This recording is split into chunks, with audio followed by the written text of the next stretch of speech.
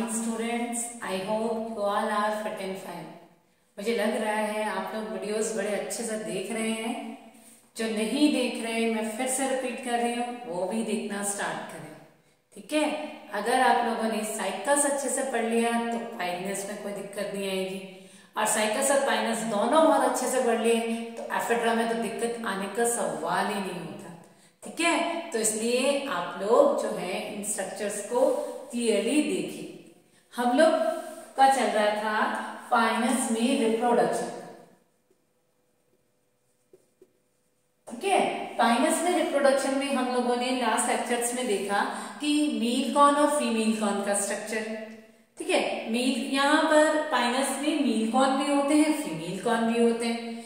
Clear से बात कर रहे हैं हम माइक्रो बोल रहे हैं मेल्स को। मेगा बोल रहे हैं फीमेल्स को। तो कंपैरेटिवली मेल जो होंगे, वो क्या होंगे? छोटे होंगे और फीमेल्स क्या होंगे? बड़े होंगे। माइक्रो दोनों एक ही प्लांट पर होते हैं, क्योंकि पाइनस कैसा है? मोनोशियस प्लांट है उभय लिंगाश्री कैसा पौधा है? कैसा ट्री है? उभय लिंगाश्री है। और हमने मील कॉन का स्ट्रक्चर देखा कि मील कॉन जो है, वो भी ग्रुप में प्रेजेंट होते हैं और फीमेल कॉन भी ग्रुप में होते हैं? मील का जो ग्रुप है? पंद्रह से एक सौ चालीस तक का ग्रुप होता है। जबकि फीमेल जो है, एक से लेकर चार, पाँच तक ग्रुप में रहते हैं। ठीक है? मील कॉन फ़र्स्ट ईयर में ही डेवलप हो जाते हैं, जबकि फीमेल कॉन जो होते हैं, वो पहले साल में यंग स्टेज में होते हैं सेकंड थर्ड ईयर में जाकर वो क्या होते हैं? मिच्योर होते हैं। फिर हम लोगों ने दोनों में माइक्रोस्पोराजिनेसिस पढ़ा। मेल में माइक्रोस्पोराजिनेसिस पढ़ा फीमेल में मीगास्पोराजिनेसिस पढ़ा। दोनों ही स्पोरेजिनेसिस जो है, वो यूस्पोरिजिनेट मेथड से होता है। क्लियर ना? यूज़ स्पोरिजिनेट मेथड पता है कि क्या होता है यूज़ स्पोरिजिनेट मेथड जहाँ जहाँ स्पोरेंजिया फॉर्मेशन में एक से ज़्यादा सेल पार्ट लेती है। क्या होता है? जब एक से ज़्यादा कोशिकाएँ स्पोरेंजिया फॉर्मेशन में पार्ट लेती हैं तो उसको हम कहते हैं यू स्पोरिजिनेट मेथड तो आप लोगों ने बहुत अच्छे से यू स्पोरिजिनेट मेथड देखा। उसके बाद हम लोग बात करते हैं माइक्रोस्पोर का टटार बनना था। मीन्स चार माइक्रोस्पोर एक साथ होते जबकि मेगास्पोर में बनते चार ही हैं, लेकिन उन चार में से तीन जो होते हैं, वो क्या हो जाते हैं? डी जनरेट हो जाते हैं। तीन क्या हो जाते हैं? डी जनरेट हो जाते हैं, नष्ट हो जाते हैं। फिर हम लोग बात करें यहाँ पर आगे। तो ये जो हमारे मेल गैमेट फिर हमने बात की कि ये गैमेट्स बन गए थे।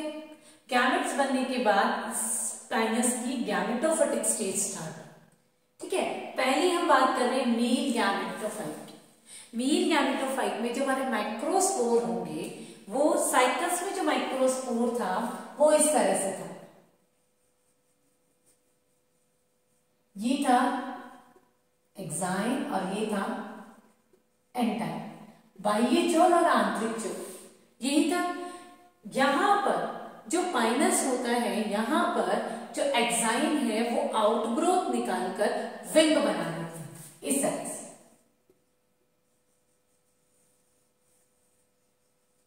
ये इसमें एक्साइन होती है, ये एंटाइन होती है और ये दो विंग होती है।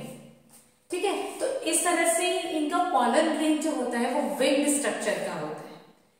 अब बात आती है कि यहाँ पर जो जब भी आपका डेवलपमेंट होता है मतलब मेल गैमेट्स बनते हैं तो एक चीज़ होती है पॉलिनेशन परागण।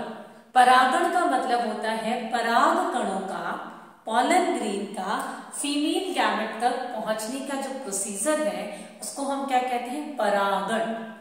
ये जो परागण है, वो किसी ना किसी साधन से मीन्स अगर मैं बात करूँ, ये आपका वायु के द्वारा भी हो सकता है, जल के द्वारा भी हो सकता है, कोई जानवर के द्वारा भी हो सकता है, किसी बर्ड के द्वारा भी हो सकता है तो कोई ना कोई पॉलिनेशन एजेंट होगा। क्योंकि यहाँ पर सेल्फ पॉलिनेशन की प्रोबेबिलिटी लगभग खत्म सी। देखो पॉलिनेशन दो तरह से होता है।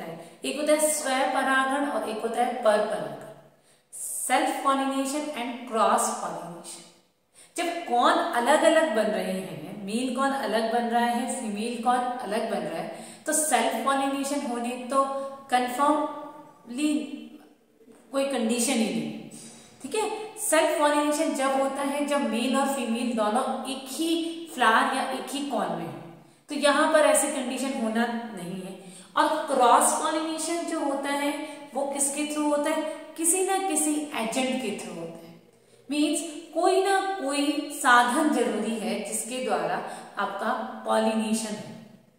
तो यहाँ पर पॉलिनेशन जो होता है, वो ज़्यादातर एयर के थ्रू होता है, वायु के द्वारा होता है। हाँ कई बार इंसेक्ट से भी हो जाता है, लेकिन मेनली वायु के द्वारा यहाँ पर परागण होता है। अब हम लोग देखेंगे कि पॉलिनेशन से पहले क्या चेंजेस आए गैमेट में और पॉलिनेशन के बाद में क्या चेंजेस आए, वो सारी चीज़ें आपको यहाँ पर देखने को मिलेंगी। ठीक है? प्री पॉलिनेशन गैमेटोफाइट जो है, उसमें प्री पॉलिनेशन डेवलपमेंट और पोस्ट पॉलिनेशन डेवलपमेंट तो इसमें हम लोग फ़र्स्ट हमारा होगा प्री पॉलिनेशन डेवलपमेंट ठीक है? अब प्री पॉलिनेशन डेवलपमेंट में आप थोड़ा सा साइकस को साथ में लेते हुए चले। यहाँ हमारा ये, हमारा माइक्रो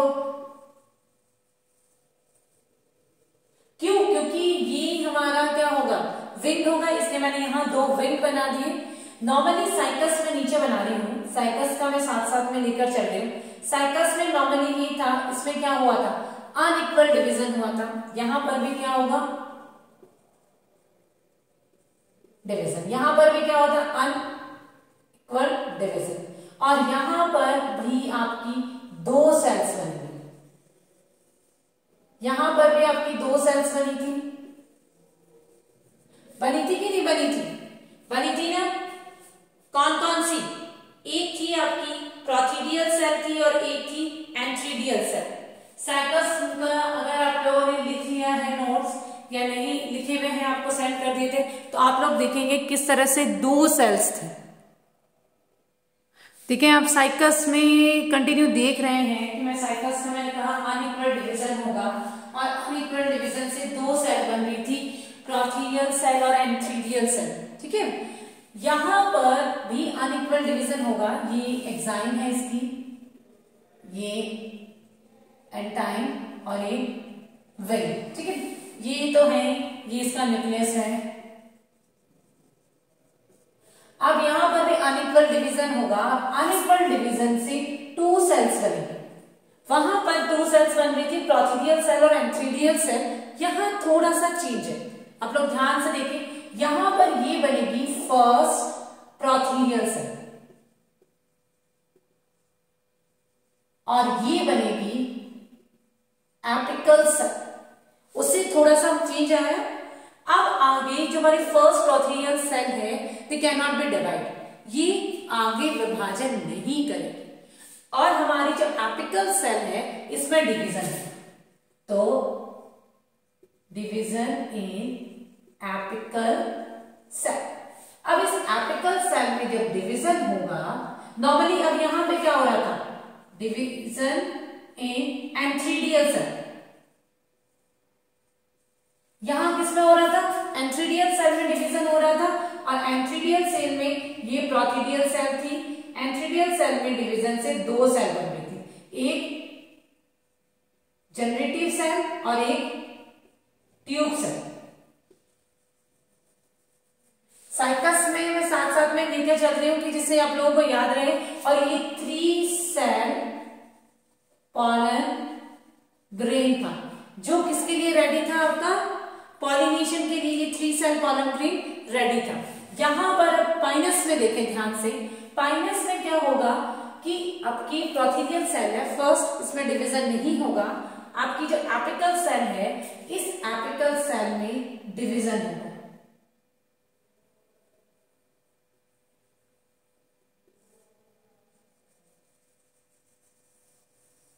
ठीक है? ये आपकी first prothallial cell apical cell जो है अब वो डिवाइड होगी और डिवाइड होकर टू सेल्स टू सेल्स में ये होगी सेकेंड प्रोथीडियल सेल ये होगी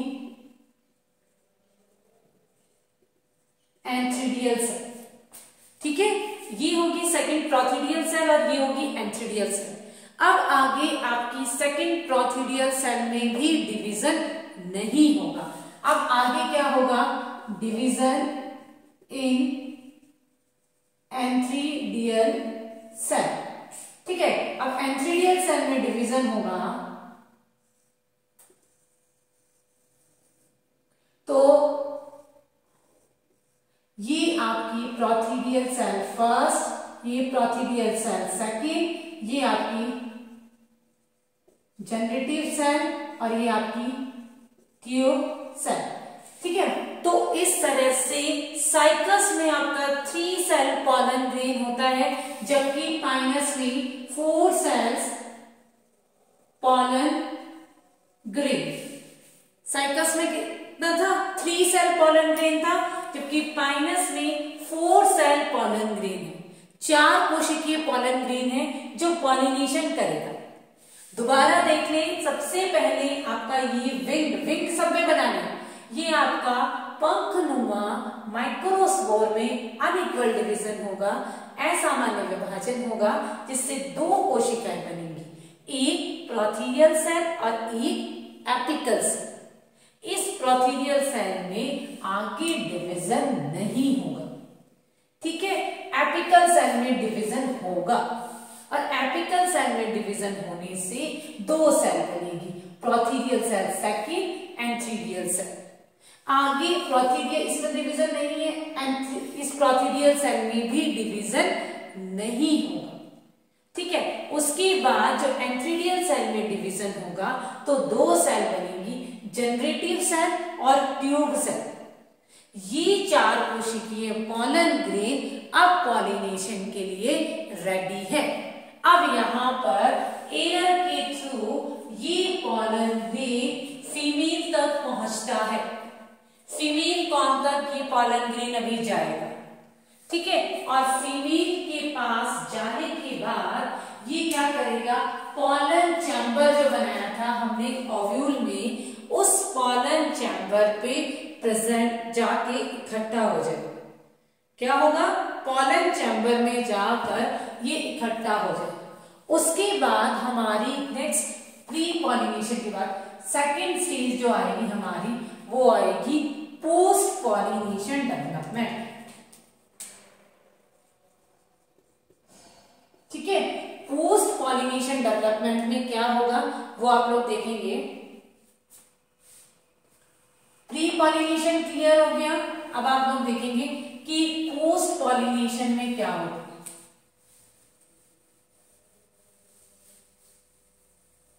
साइकस का भी मैं थोड़ा सा साथ में लेकर चलूँगी देखो, यहाँ तक साइकस आपके क्लियर समझ आ गया, नहीं आया, जिनको, वो भी दोबारा देख सकते हैं। तो मैं पाइनस का बना रही हूँ। देखो पाइनस में हमारा इस तरह से कंडीशन थी। हमारा फोर सेल पॉलन ग्रैंड ये प्रोथीडियल सेल फ़र्स्ट ये प्रोथीडियल सेल सेकेंड ये जनरेटिव सेल और ये आपका ट्यूब सेल ठीक है? साइकस में क्या होगा? प्रोथीडियल सेल जनरेटिव सेल और ट्यूब सेल ठीक है? तो इस तरह से आप लोगों ने उसमें देखा कि उसमें फोर सेल स्ट्रक्चर है और इसमें आपकी थ्री सेल स्ट्रक्चर है। क्लियर और इन दोनों ही स्ट्रक्चर ने आपका क्या किया है? पॉलिनेशन किया है। और पॉलिनेशन करने के बाद ये पॉलन चेम्बर में आकर इकट्ठी हो गई है। ठीक है? उसके बाद हम लोग आगे देखेंगे, आगे क्या होगा। अब आगे ट्यूब सेल से ट्यूब फॉर्मेशन हो जाएगा। देखो इस तरह से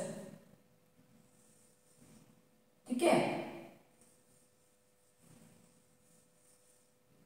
ये ये हमारी ट्यूब है और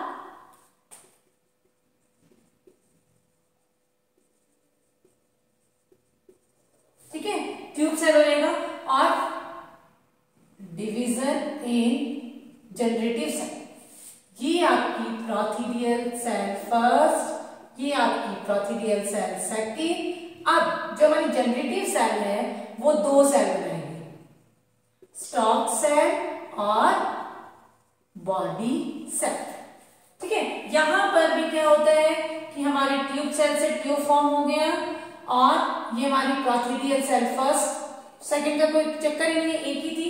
और ये आपकी बॉडी सेल और सॉरी ये आपकी स्टॉक सेल और ये आपका ट्यूब सेल क्लियर अब आगे क्या होगा? डिवीज़न इन बॉडी सेल यहाँ पर भी डिवीज़न इन बॉडी सेल ठीक है? फिर उसके बाद डिवीज़न जब बॉडी सेल में हो जाएगा तो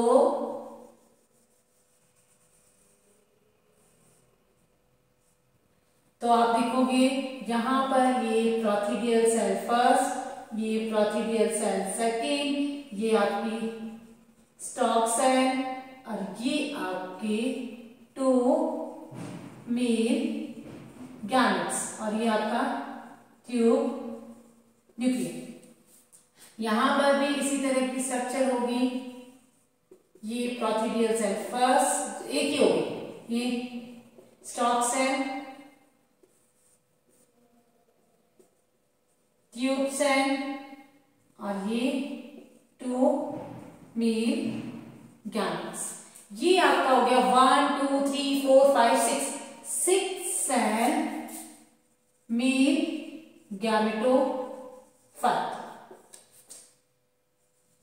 Six cells male gametophyte और ये हो गया five cells male gametophyte ठीक है तो आप लोगों ने देखा कि किस तरह से फाइनस और साइकल्स में एक सेल का डिफरेंस है। एक सेल का और विंग्स का डिफरेंस है। ठीक है तो ये चीज़ आप लोगों को याद रखनी है कि किस तरह से इनमें सिक्स सेल मील गैमेटोफाइट होता है और इसमें फाइव सेल मील गैमेटोफाइट होता है। इतना सा डिफरेंस है, सिर्फ़ और सिर्फ़ एक प्रोथीरियल सेल एक्स्ट्रा है। जो प्री पॉलिनेशन डेवलपमेंट में थोड़ा सा चेंजेस था, बाकी देखो पोस्ट पॉलिनेशन डेवलपमेंट में अगर मैं प्रोथीडियल सेल के डिवीज़न के बारे में छोड़ दूँ तो बाकी सब सेम है। भाई, यहाँ पे जनरेटिव सेल थी ट्यूब सेल थी, यहाँ पे जनरेटिव सेल है ट्यूब सेल है। ये दो सेल्स छोड़ो। फिर ये जो हमारी ट्यूब सेल थी इसने ट्यूब का फॉर्मेशन किया। यहाँ पर वाली ट्यूब सेल ने भी क्या किया? ट्यूब का फॉर्मेशन किया। यहाँ वाली जनरेटिव सेल ने भी डिवाइड होकर स्टॉक सेल और बॉडी सेल बनाई।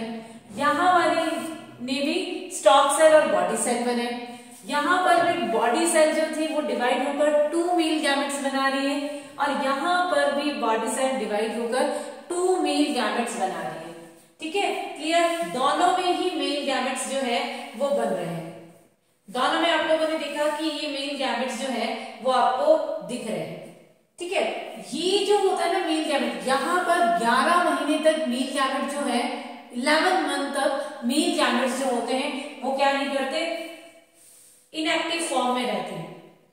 अगर आप जो पॉलिनेशन की बात करें पॉलिनेशन के बाद ये जो हमारा पोस्ट पॉलिनेशन जो डेवलपमेंट हम लोग कर रहे हैं, इस पोस्ट पॉलिनेशन डेवलपमेंट में जो मील गैमेट्स मतलब ये पॉलन ग्रीन जो है, ये पॉलन ग्रीन जब पॉलन चैम्बर में गिर जाएगा, और पॉलन चैम्बर में गिरने के बाद ये आगे की जो प्रोसीजर है, ये वाला जो प्रोसीजर है, इसको होने में इलेवन मंथ्स लग जाता है।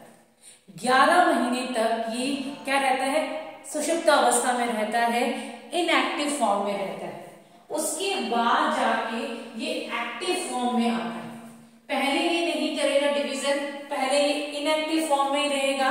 उसके बाद ये क्या करेगा? एक्टिव फॉर्म में आएगा और एक्टिव फॉर्म में आने के बाद ये क्या करेगा? एक्टिव फॉर्म में जैसे ही आएगा ट्यूब सेल ट्यूब का फॉर्मेशन कर देगी। उसके बाद हमारी जनरेटिव सेल है, वो स्टॉक सेल और बॉडी सेल बना देगी। और जो हमारी बॉडी सेल है, वो डिवाइड होकर टू मेल गैमेट्स बना देती है। अब ये टू मेल गैमेट्स कहा जाएँगे? फीमेल गैमेट पर जाएँगे।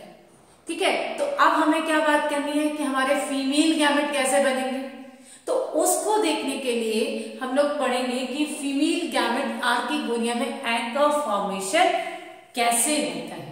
तो नेक्स्ट क्लास में आज हमने मेल गैमेटोफाइट पढ़ा नेक्स्ट क्लास में हम लोग पढ़ेंगे कि किस तरह से फीमेल गैमेट यहाँ तक आपको समझ में आ गया? नेक्स्ट क्लास में हम लोग पढ़ेंगे फीमेल गैमेटोफाइट जो है, वो कैसे बनती है? क्या क्या स्ट्रक्चर है? कौन कौन सा डिविजन होता है? वो सारी चीज़ें हम लोग नेक्स्ट क्लास में पढ़ेंगे। तो नेक्स्ट क्लास हमारी क्या होगी? फीमेल गैमेटोफाइट ठीक है? आज के लिए इतना बहुत है। नेक्स्ट क्लास में हम लोग आगे बढ़ेंगे ओके थैंक यू